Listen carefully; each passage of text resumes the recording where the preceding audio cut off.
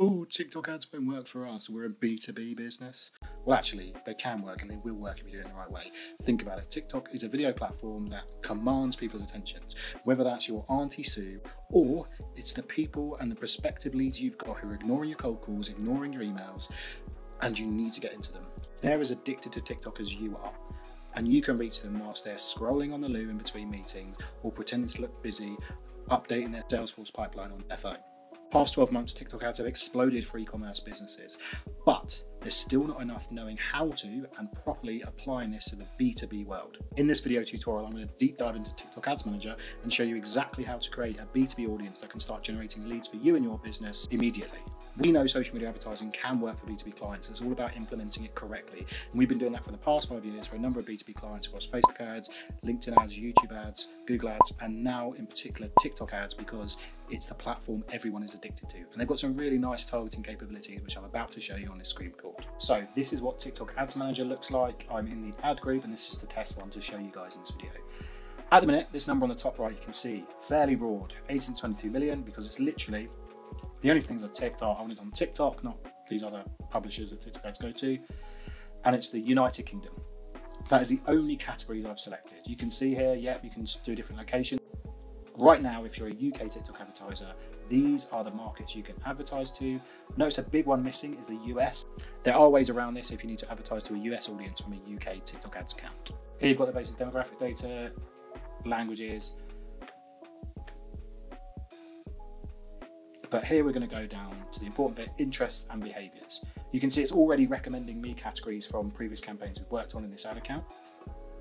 And that is the unbelievable thing about TikTok is what it will do is after seeing the first few days of your campaigns, first week of your campaigns, it will start recommending the other categories, the other interests, the other targeting capabilities that you should be adding into your ads campaign, which doesn't really happen on these other platforms. It allows you to discover new interests and audiences that will help your campaign run to the best it can be.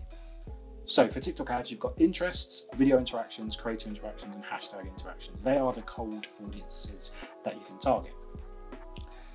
So interest, really simply, going to guide you through. There's a lot of ones for typical advertisers that you'll probably be aware of. If I scroll through, interests are going to be okay for a B2B advertising perspective if you're included in these business services, right? Office equipment and supplies recruitment job searching, construction engineering, all these business services, right? There are some good ones in there. Marketing advertising, great for an agency like us. Professional consultation, exhibition service, IT services is a big one for the clients we work with. Legal services. But if you're coming from a world where you're a bit more niche than that, that's not going to cut the mustard, is it?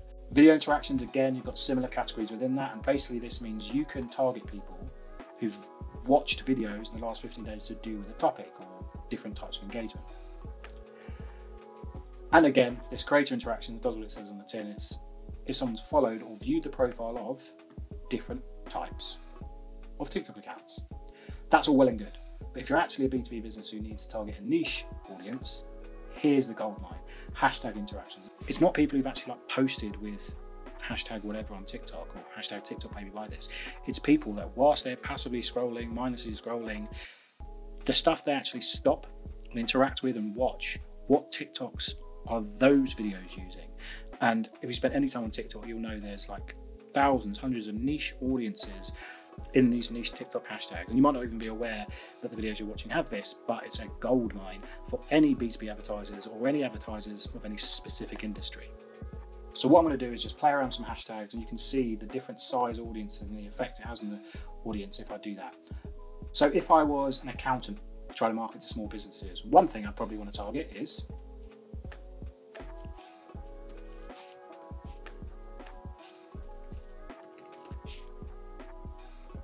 So, small business, small business tip. I'll move myself out of the way here.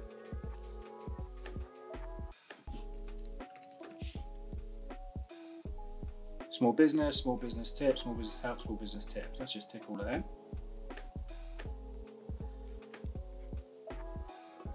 There's a lot of audiences like this, which are the industry and then top, business top, business 101, business hacks, business owner, so if I scroll back up to the interest and just search for accountants, these are people interested in certain content related to accountants.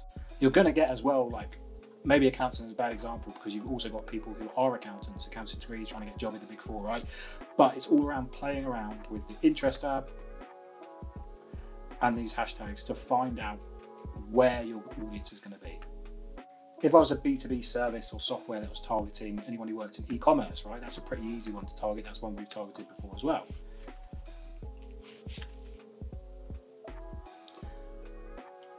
E-commerce tips, e-commerce business, e-com, commerce marketing, Shopify, Shopify tips, Shopify seller, Shopify drop shipping. Well, there might be some agency owners out there wanting to target Shopify stores. Easy way to do it. Or maybe you're going after a type of employee, like you could be serving a service, a software, or even like consultancy, going after salespeople, right? That's a pretty popular niche in the B2B industry. So simply, we can search for sales, sales talk, pretty big one, sales team, sales tips, sales advice, sales training, and all of these you can play around with how big the audience is. It says it's narrow based because it's in comparison to other campaigns on TikTok. And you can even sort of like narrow down and broaden out these audiences and test different audiences versus each other. Going back to what I said before, the amazing thing with TikTok is once a campaign starts running, it will keep feeding you recommendations you can add in, or even it will tell you some of the interests or hashtags that aren't generating interest and aren't applicable for your campaign to remove out. See down here, targeting expansion, it's worth testing a ad group with that on and that off because all it's going to do, as it says here, is TikTok's going to go, right, okay, we'll deliver it to the people that you've selected and predefined as your audience, especially if you're going for a very narrow niche one. Then we'll expand delivery to other users with similar characteristics. And look, you can see up here, recommended other categories it's telling me to go for. Now, an important one that's outside the scope of this video, but we'll talk about it another time, is custom audiences in TikTok.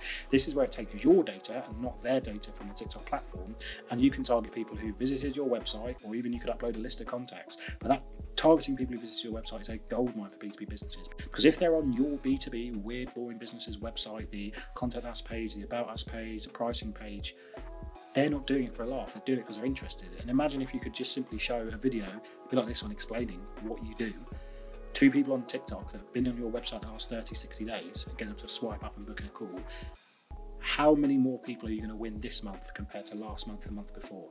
That's why it's a no-brainer to start doing retargeting advertising, not just on TikTok, you can do this across Facebook and Instagram, and you can do this on YouTube as well.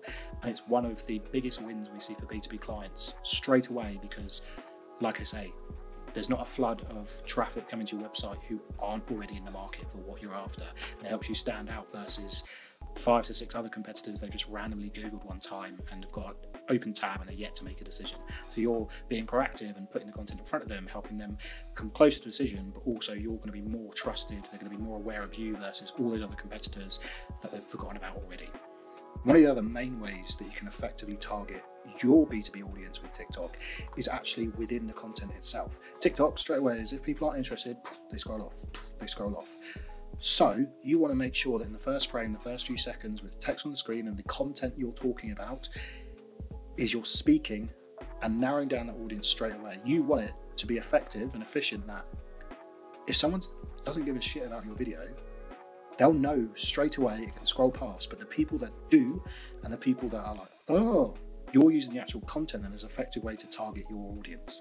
This is one of the major changes that TikTok has really brought to the advertising market is you're filtering out the people who don't care and you're using these amazing video algorithms to do a lot of the targeting for you by who is interested in your content. A lot of the video ads we use for ourselves and for our B2B clients specifically calls out the exact buyer they care about and give a shit about in that first few seconds of the video so anyone else that's not in that audience can get on with their life. And sometimes, because the audience and the market and the industry is that niche, they'll be like, oh my god, huh, I didn't know there was any TikToks around this sort of thing.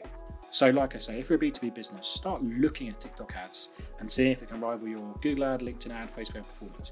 If you just stumbled across this video and your B2B business has never done any form of social media advertising and you want someone to hold your hand and let's say, probably have a higher likelihood of getting yourself results from that budget initially, then go to www.adsforb2b.com, fill out the form there, we can jump on a call and we can see if you're the right fit to work with us and basically build out an action plan for you and your business, how to get more leads more often. Cheers, bye.